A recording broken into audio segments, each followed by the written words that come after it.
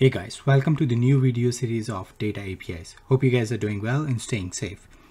In this video series, we will cover various topics related to the data part of the APIs and do hands-on practice on them. Today's video is on the fundamental concepts of data APIs. So without further ado, let's start. We'll start with the definition of API. As we are, as I mentioned earlier, we are focused on the data. So we will be talking uh, we're talking about the APIs from the perspective of data. API can be used in other aspects too, but our focus is on data or like how API used in the data engineering pipelines or the data, uh, data engineering aspects of the API. Uh, the basic definition of uh, API is that API is a set of program codes that enables the data transformation between your application or code and the external applications.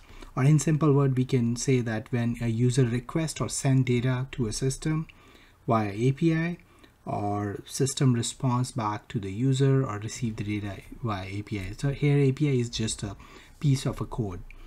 Uh, you can imagine this API structure as a like client server architecture where the client is requesting or sending the data to the uh, server here. Uh, when I was talking about the client server architecture, the, in that situation, the API can be used in two ways. Like I won't say use two ways, but like a, there are like two possible situations or possible scenarios for them. Either you are hosting an API. In that case, uh, like if your application is hosting the API, that become a server, and uh, the any application which is using it, uh, they will become client. And the other scenario is where we are using the API to pull or push the data uh, to its server. So for example, like Twitter, Twitter APIs are the best examples here. So in that situation, Twitter is hosting an API and we are using it. But uh, in in your work environment, you might have to host an uh, API and the others will use it. And here the question comes like why we wanna um, like a host an API in, in some cases like we don't want to open our databases to uh, we don't want to open our databases to the uh, to the other users. So or you can say like it's it's a way of uh, uh controlled interface to your application instead of exposing your database like you are doing through an API uh, so if you look at the diagram like it's a it explain um, the API concept pretty well so here you can see that like web server which have its own database but through API, the client application is requesting and we are getting a response from API 2. So request is not just we requesting the data, we in the request we can send the data to, and same for the response. We can uh, like responses like uh, the data is received successfully, or like we can get when we are requesting the data, we we get a response uh, of the data inside, and after that like we can store uh, depending in like we can store it in our side on depending on our storage or like in our pipeline or whatever we want to do we can do with it. There are various types of protocols uh, but in data generally or i've seen in my day-to-day -day work is like these are two main apis one is the rest and the soap apis and uh, rest stands for representational state transformation most of the time. It's like the json data. And soap is most of the time it's xml but it's not limited to them.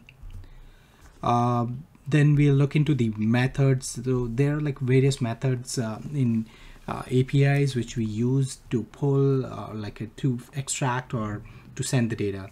So there are four main types. So first one is the get the data get basically then as the name suggests is to gather the information.